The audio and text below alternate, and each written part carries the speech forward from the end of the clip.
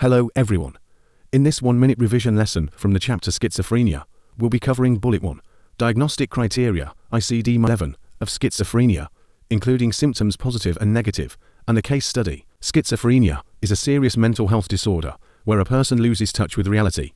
According to ICD 11, it involves problems in how a person thinks, feels, behaves, and experiences the world.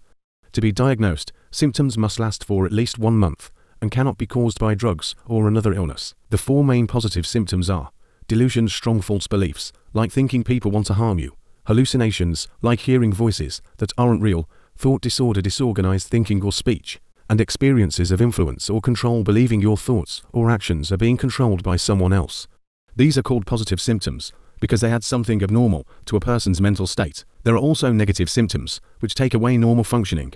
These include avolition, no motivation, flattened affect, reduced emotional expression, impaired memory or attention, and catatonia, lack of movement or speech. Anaja et al. 2018 reported a case of a boy with early onset schizophrenia.